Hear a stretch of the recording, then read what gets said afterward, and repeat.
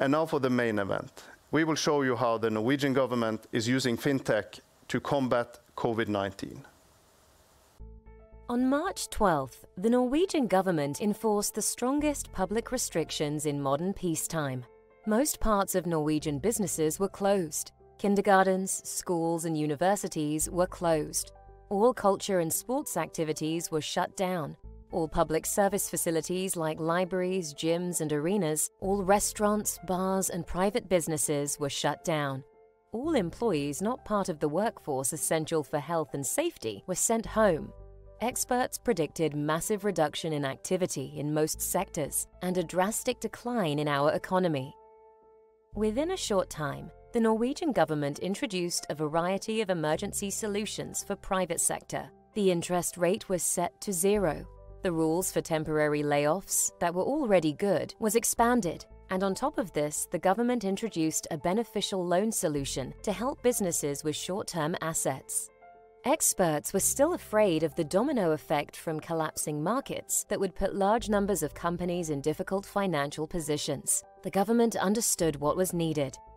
On the 24th of March, the Department of Finance, the trade organizations, and worker unions met. To gain trust and predictability in the markets, the government intend to hand out helicopter money. The idea was to give all companies a unique financial infusion according to the loss in revenue and running costs, and the Norwegian government have the money. We have a gigantic investment fund, mostly built over decades of successful oil industry, but we had no system to handle this kind of market infusion.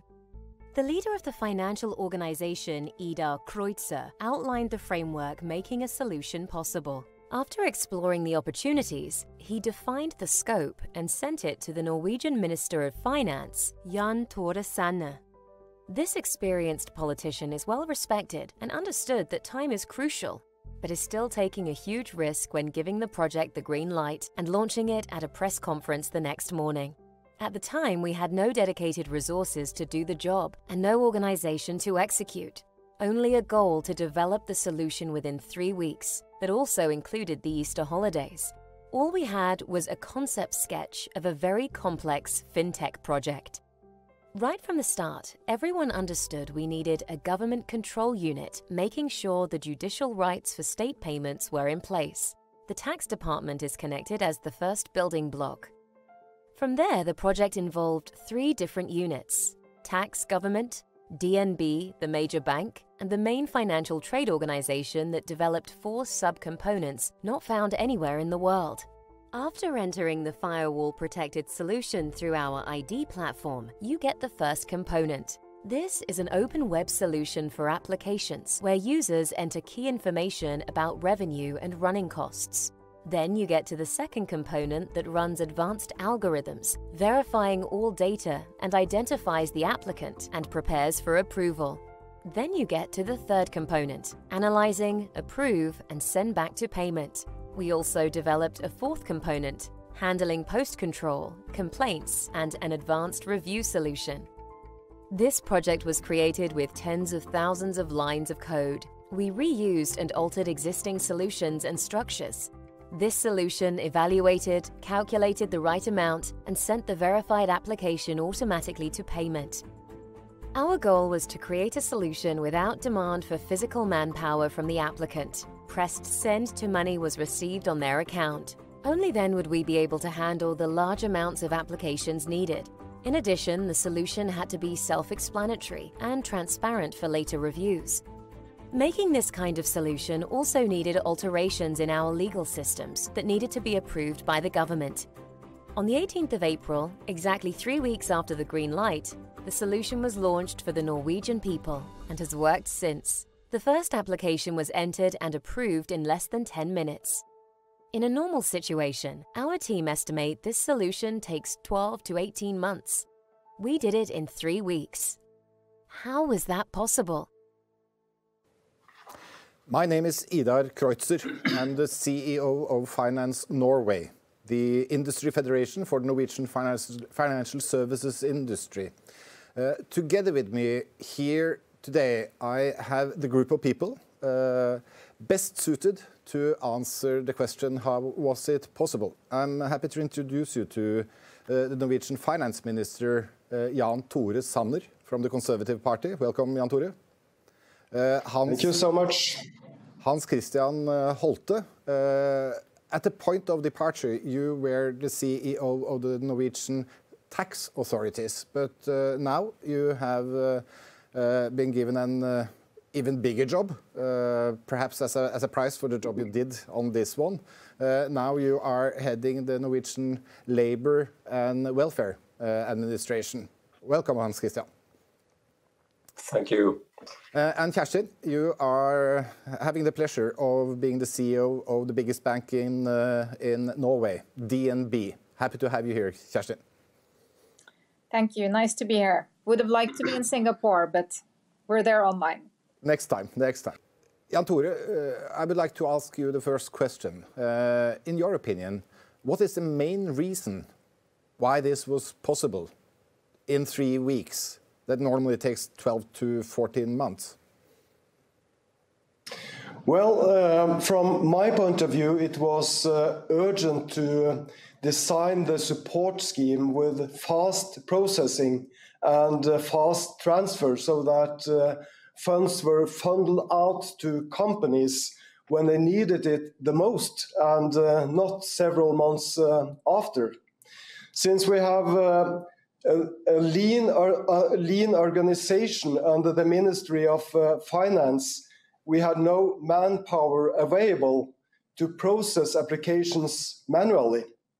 So it was critical to set up an automatic scheme where companies could uh, apply on a website and the application were, were processed quickly and automatically. Looking back, the support scheme worked very well.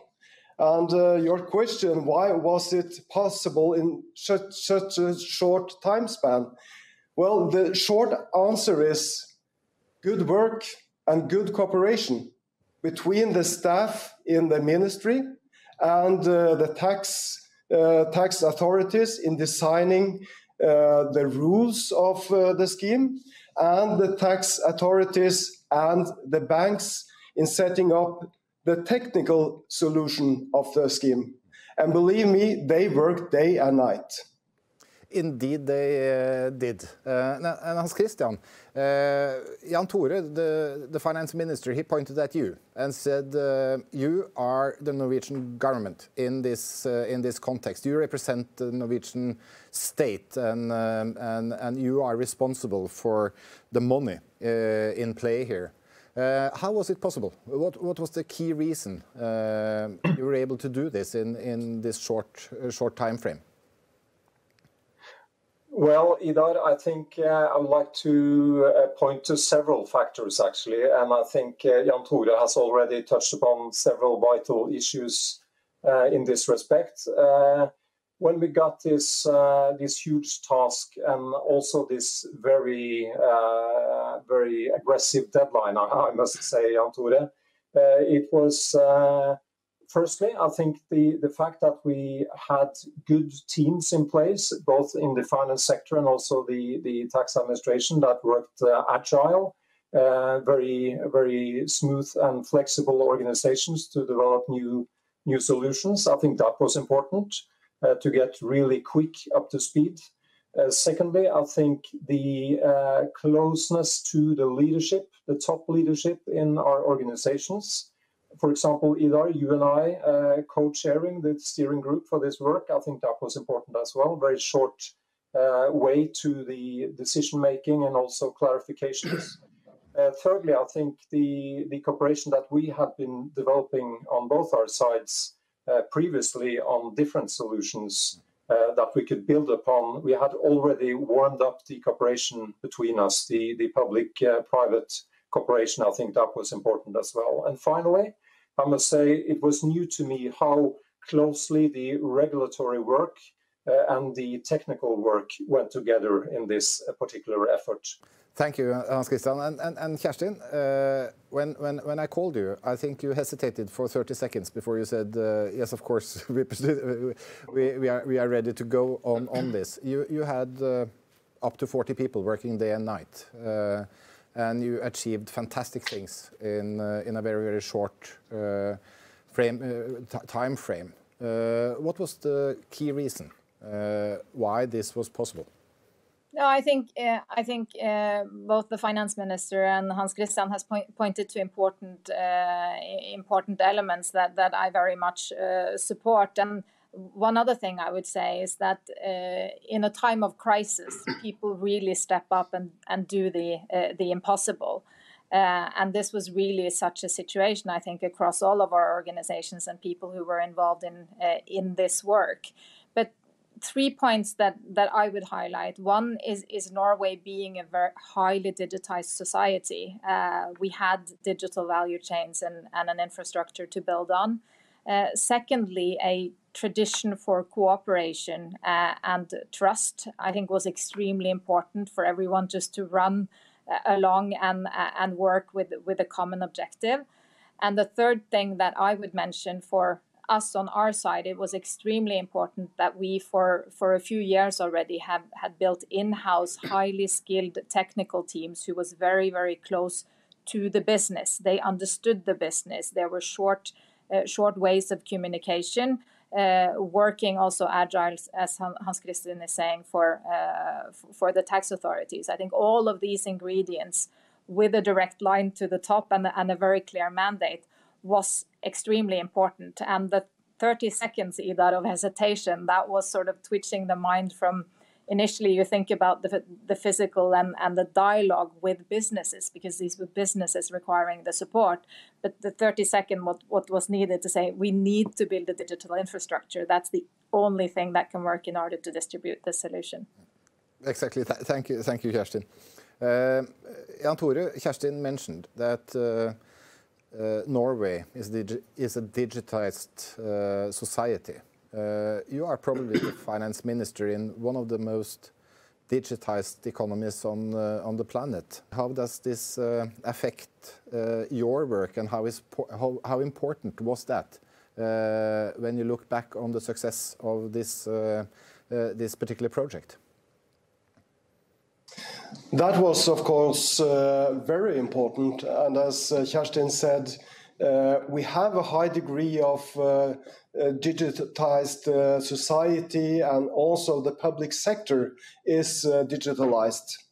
and we gave the task to the tax authorities, which has a long standing for innovative technical solutions and also a large and advanced IT group in-house.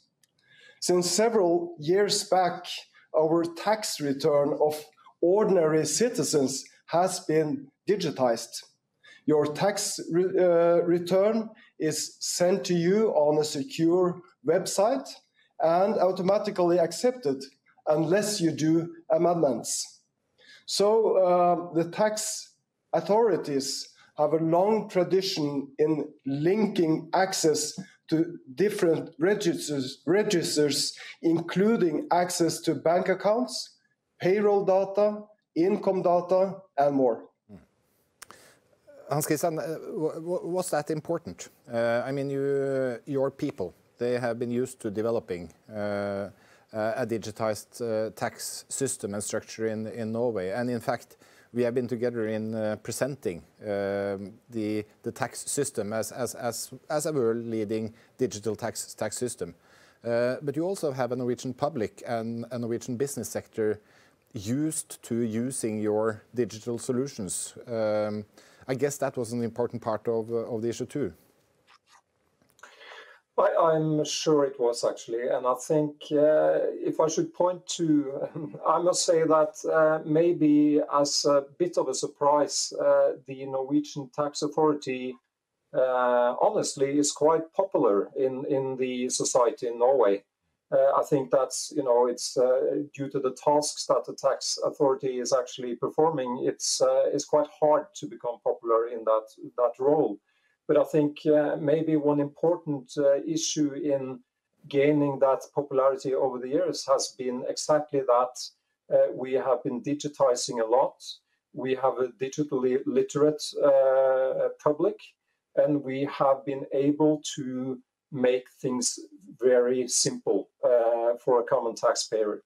So uh, when we have the tax returns actually on on uh, each and one of us mobile phones, it's very simple, and it's actually uh, honestly it's a, it's also a bit of a problem that people don't really go in and check their their tax returns because they uh, have quite much confidence in that system. Mm. But I think the the uh, general ability to use digital solutions in, in Norway that's a, a, huge gain both for the private and the public sector, and I think uh, it's a benefit that we have together with also what uh, Kjerstin mentioned earlier, the the uh, uh, level of trust that we have. I think those two goes together hand in glove. We need to have that confidence that trust also to take full use of the uh, digital solutions. Thank you. Kjerstin, we have to move over to, to the financial services uh, sector. Uh, I mean, you are heading the biggest bank uh, in one of the most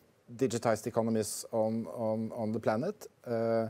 Uh, and uh, you must be, I mean, you must have very ambitious targets when it comes to technical solutions and uh, uh, and digital customer interface and uh, and everything in in the bank. That must have been important when it comes to dealing with something like this. But can you tell us a little bit about the the, the ambition and the level of digital solutions in a bank like like DNB? Um, Absolutely. And, and to start sort of building on Hans Christian's uh, messaging as well, I would say that both the public sector and the financial sector has, have both been driving forces in the Norwegian society towards uh, digital uh, maturity. And, and, and this has been uh, a vital element of technology coming a more, a more and more important part of our business. And also the expectations from our customers. Uh, the benchmark from our customers is not what uh, other players in the financial industry are, are, offering, but it's what other advanced digital uh, interfaces and, and, and the large tech companies, Google and Facebook. I mean, they expect us to deliver the same type of, uh, of services. So this has, for the past few years, led to uh, a, a, huge transformation, uh, completely restructuring our frontline distribution. We have very few branches uh, left.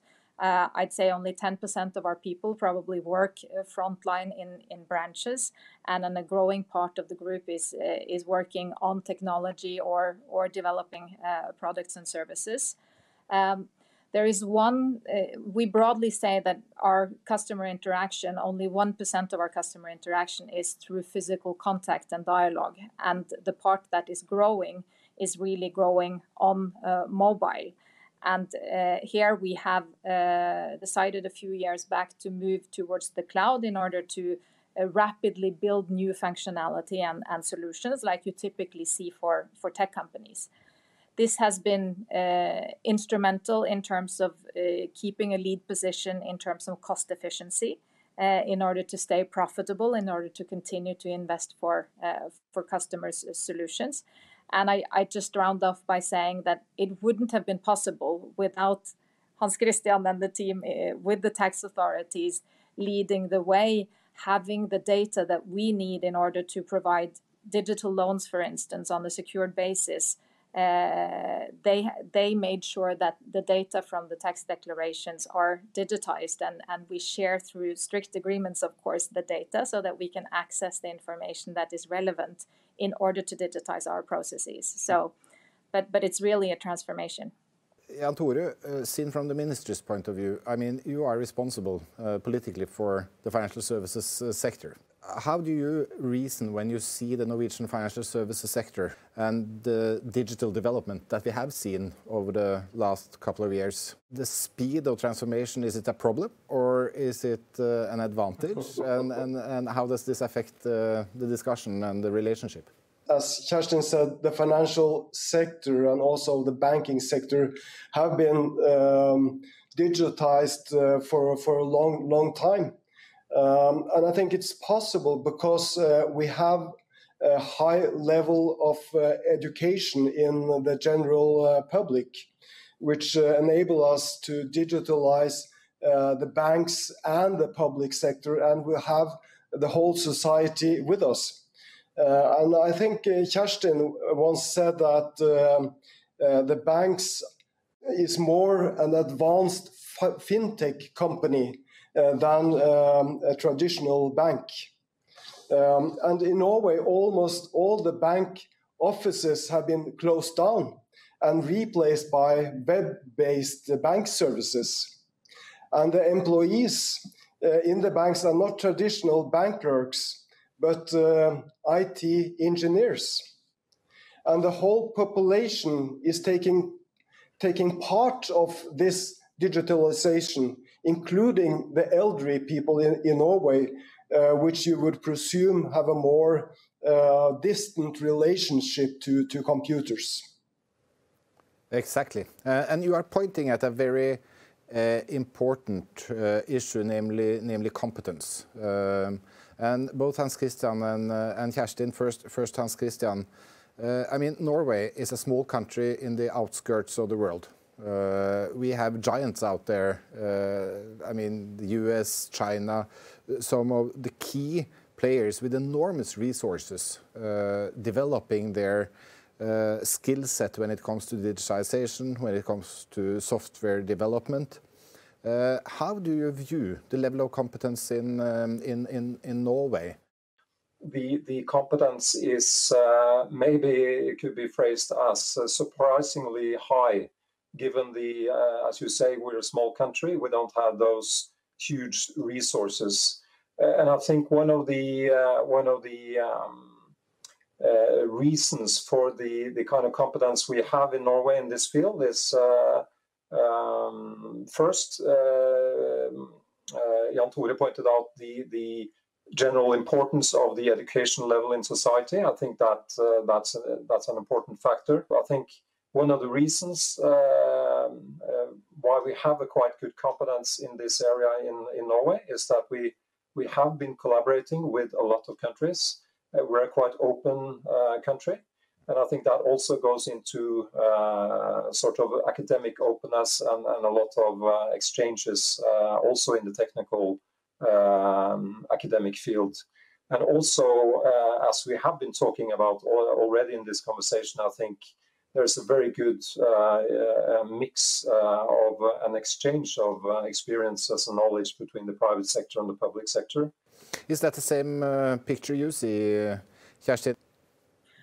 Well, one of our key priorities is to increase our attractivity uh, towards uh, engineers and uh, and people who are skilled on on the technology side. But we're also very mindful about combining that competence with the business that we're actually running because technology in itself won't bring us uh, towards delivering banking services uh, to the people and i think that is that is part of uh, part of the key but i i think we have good access and i think we have uh, a strong level of competence in norway across the public sector across the finance sector and across the healthcare sector is also another area where where norway is very advanced in terms of uh, building software solutions and and technology. And I think maybe one of the things that we it happens that startup companies who are built uh, on technology in Norway are rapidly sold uh, sold out and not necessarily scaled in Norway. But I think one of the things that makes me extremely optimistic now is that the real value lies in combining technology with the knowledge of the business and the knowledge of, of the processes. And and uh, with the level of technology competence we have uh, and the tradition for cooperating and combining that with the industry and, and the processes i think this is where the real advantage lies uh, for norway as, uh, as as we move ahead. Uh, and and i think this this is a very exciting opportunity and besides that, I think we should also give some advertising for, for Norway to all the tech uh, experts out there. I think Norway is a great country to be in. Mm. And, and increasingly, we also see that we are attracting competence from, from, from, from abroad. You cannot afford to let pools of talent uh, lay untapped. Um, for a long time we have been working on the diversity uh, agenda. And i think surviving in in this world if you only tap into half the population to look for talent if you would would exclude women or men for that matter or or only building competence in one area i mean i i think it's the fastest way to uh, to failure uh, in in that sense. And and this just becomes increasingly important. We have we have concentrated our efforts, I'd say mostly so far in, in two areas, uh, and that's in terms of gender balance, where we now have very close to 40% uh, uh, of women uh, uh, being present on all management levels uh, in the company. we have increasingly also made progress in terms of diversity on competence. We've just talked about technology earlier, but we're also very attractive when it comes to employing lawyers and legal educated people, which is extremely uh, important. But but I'd also be the first one to acknowledge that that that we have just uh, we we have just started. There there are many dynam- dimensions that we need to work harder on in the future. I think uh, inclusion, as Hans Christian is talking about, is important. Et, uh, et, uh, ethnicity is is another. Um, we have to mirror the society that we are a part of. There is no path to success, sort of shopping single experts out there in the market paying the most. I, I think building this competence and this culture from within the company is uh, is the, the, the path to uh, delivering the best products and services to our, our customers, and, and we're strongly committed to continuing that path. The development of the reimbursement solution was based on a somewhat unusual collaboration between uh, politicians, the Ministry of Finance, government agencies, industry federations, and private banks. Uh, and personally, you took a risk by trusting that this kind of uh, collaboration could deliver results in, uh, uh, in a very, very short, short time frame. Um, how do you explain uh, that such an unusual collaboration is, possible? What are the drivers behind this, and and how did you? Why did you take the risk? well, why did I take the risk? Because we had to. We we were in a crisis, and we had to look for solutions. Um, and you have just said it. Uh, we enjoy um, a high degree of mutual trust uh, in our society. And uh, to, to crank out the design of uh, the compensation scheme, we called upon the banks and also the social partners with um, uh, the employers' organizations, trade unions, to sit down with us and uh, discuss the facilities of uh, the support scheme in a way, uh, it is a high risk for a minister of finance to leave the treasury wide open. So um, uh, we need we needed to discuss the rules of, uh, of, of the scheme with the social partners and build uh, a common understanding of the situation. And uh, we did. After all, it's a common interest that small and large companies can survive a temporary shutdown in the in the society and um, in the spirit of openness we also agreed that uh, all the payouts under the scheme would be listed on a public website and in the end of the day several companies who received financial support and quickly came back in black actually decided to return their support to the ministry.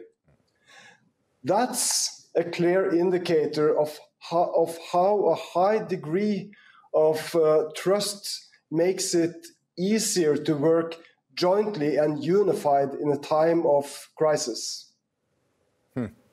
That's uh, very important lessons to, to learn. And Hans Christian, you have been a leader in inviting to this kind of public-private uh, partnerships. So we have many years of experience. Was that important when we suddenly were asked to do something like this? And, and, and how did that affect your decision-making process?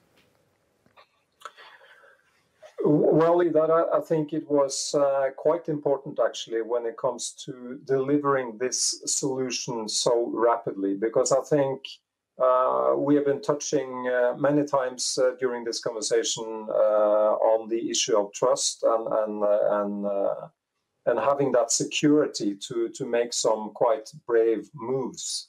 and I think what we have been experience, experiencing, you and I, with the the consent-based mortgage solution that made it possible to to draw uh, online some information from the tax returns to, to check out the credit uh, readiness uh, if um, the the customer were giving consent to that. I think uh, having done that quite also quite uh, groundbreaking uh, experience together and having very good results from that, I think that was a very good uh, kind of uh, vantage point for, for, for this next uh, experience of corporations that we cooperation that we have. Hmm. I also like to, to just add to the point that uh, Jan Tore made about uh, the openness of this solution. I think that was quite important uh, also for the trust that people had in this solution. Hmm. I mean, really showing what was going on uh, in in giving out uh, some funding uh, to the the different companies in this time of crisis. I think that also was a quite important trait to get to give this solution a lot of credibility. Mm. And, and, and Kjerstin, you had 30, 40 uh, employees working day and night, but they, they work together with in total, uh, probably around 200 uh, IT developers in BITS, the infrastructure company that that's a part of the Industry Federation with the tax authorities and uh, and your own people, and also with the ministry and and, a lot of people. And and it's a fact that they never met physically one time during the three weeks when when they developed this. Were you surprised? Uh, was that a new thing? Uh, because this is, I mean, this must also be the ultimate uh, trust statement that it's possible 200 people from different organizations working together on something complex like this and be solutions oriented. Uh, what's your reflections on that? Well, I'm, trying to reflect here whether I was surprised, but I guess what I remember is that we were also focused on getting where we wanted to get that that really took all of the attention and and i think we've touched upon trust amongst each other as institutions the four of us who are here but also the uh, the, the unions and, and, and the organizations in, in designing the solution. But I also think trust within the companies. I think we as managers and leaders were willing to let the people who actually uh, could develop the solution uh, talk to each other. And, and that was also also instrumental. And we, I'm not sure we even discussed the fact that the whole regulation and the law was worked on on, on the side, and, and we just thought that we'll figure out this. Hopefully, at uh, when the time that's ratified, it'll work, and and then we'll figure out uh, how how to deal with that. And uh, and it worked. Uh, but but I think what was really the driving force here was was the purpose of what we were looking to to achieve, and and, and this made everyone uh, really step up to the challenge. Mm. But I think it's important to say that the basis for what we did has been built on for years. Uh, we had a common infrastructure uh, as as a bottom layer we had uh, a lot of tools that we could build on. I think that there, there, it hadn't been possible if, if this was a, new idea uh, that, that we, we should start on. Uh, and I think this has awoken in, in many economies around the world uh, a sense of urgency in order to digitize their, their economies uh, because we quite often talk about uh, this being part of the reason why Norway has fared better uh, than most other economies through the crisis, actually the ability to not only decide on the supporting measures, but distributing them as well. How do you motivate people to work 24 uh, 7 for, for uh, uh, a number of weeks? I think for, for us it was clearly management by uh, by purpose and trust. Mm. And I still remember when we had the call, Idar, uh, the day before we had the call, I, I, sat down with, or digitally, with the group who was leading payments and our new tech lab, who are the most advanced uh, technical engineers we have, uh, and our open banking experts, all essential to this solution. And they felt a bit useless because everybody was uh, occupied with the crisis and part of their innovation projects were put on hold and they were so eager to contribute. Mm. and when we talked the minute after i turned around and i called them up and i said i felt you were asking me for an unsolvable problem. Well here you have one. And, and they just ran with it. And and uh, they worked around the clock and they had three stand-ups every 24 hours. And i joined their stand-up a, a couple of times. And what we talked about was that they, what they worked on now was really the most important thing that they would ever work on in their lives because it would save businesses it would save uh, jobs for people. It would uh, i mean extremely meaningful. That was the, that was the biggest driver. Thank you Kjerstin and, and Hans Christian you I mean, uh, the, the, Norwegian labor market is, is seen as well organized with strong trade unions, and, and you have been uh, running government agencies uh, for a number of years. Uh, how come you are agile in a situation like this? Uh, what are the mechanisms that making it possible to, to really roll up your sleeves and, and dig into something like this, given the structure and the nature of the Norwegian labor market?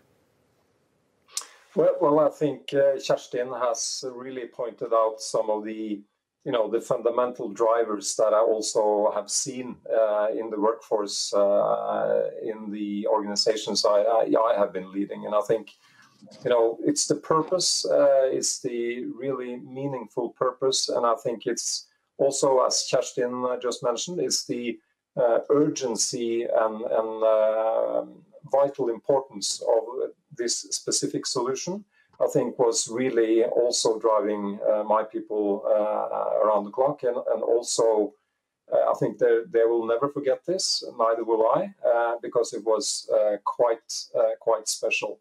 But I must say also that I think the, the general work ethics that I have seen in in uh, the tax authorities and, and also the labor and welfare authority, for example, and, and uh, previous positions.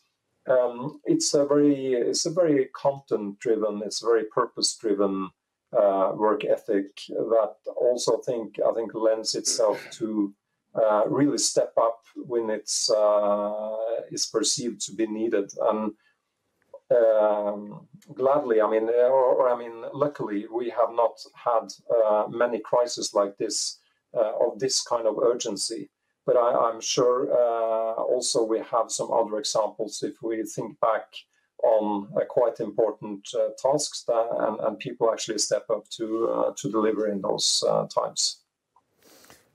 Finance Minister, you took a personal risk when you went on national TV and said to uh, the Norwegian corporate sector that, guys, uh, in three weeks we are going to deliver something that nobody has delivered before. uh, and my questions to you, two questions. One is, uh, were you a happy guy three weeks after when you were able to go on national TV and say that we delivered? Uh, and the second question, uh, what, what, are your thoughts going forward based on this and the experiences? Well, um we were in a crisis and we, and we still are. Uh, when we uh, had this discussion in the mid of March, um, I trusted you and uh, you trusted each other and we talked together and uh, we found a solution. So um, you said three weeks, I said three weeks, uh, and we made it. And of course, I was uh, happy. I think I was happy for uh, five minutes, and then I was starting to think, what are we going to do tomorrow? Because uh, business were in a crisis, uh, people lost their job, so um, um, we had to uh, still work together to find solutions. Now uh, we have um, we, are, we are still in in the crisis Uh, but we have to now also look forward and think how can we be a strong society uh, when when we're out of this crisis? And i think we shall still be a society with high uh, level of trust. And it's important right now to invest in digitalization uh, in um, uh, technology so we can reduce the climate emissions, uh, the climate risk, and also invest in in education and inclusion. Uh, for, for what I'm afraid of is that in one year or two years ahead, we will still have um, high level, uh, too many without a job. So we have to uh, still invest and uh, get business going so people can get back to, to the work. Jan Tore, Kjerstin, Hans Christian, thank you very much for sharing your insights. And uh, to all of you, thank you for listening.